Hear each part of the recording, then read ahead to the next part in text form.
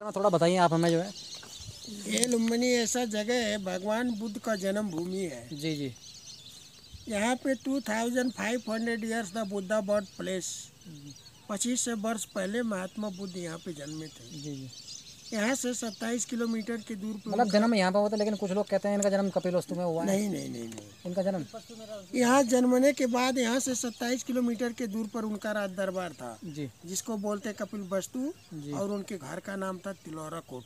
अच्छा अच्छा। उनके पिता जो थे राजा सुदोधन और सक्या वंश के राजा थे। हम्म, और माँ जो थी माया देवी वो कोलिया वंश की थी। अच्छा। मगर सोलह साल की उम्र में उनका विवाह हुआ। इनके पत्नी का नाम है सुद्रा।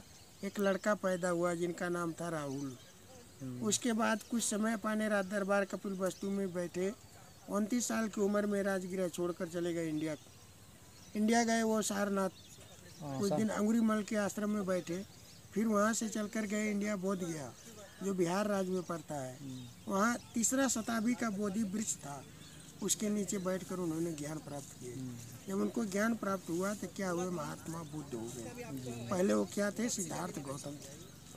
अच्छा फिर वहाँ से चलकर गए नालंदा राजगीर पर्वत से आए कुशीनगर। तो इनकी माता जी का मंदिर भी यहीं बना हुआ है? और मंदिर वही वो मंदिर का नाम मंदिर ना? हाँ, वो मंदिर का नाम वही रखा गया माया देवी टेंपल अच्छा क्योंकि महात्मा बुद्ध के माता का नाम था माया देवी।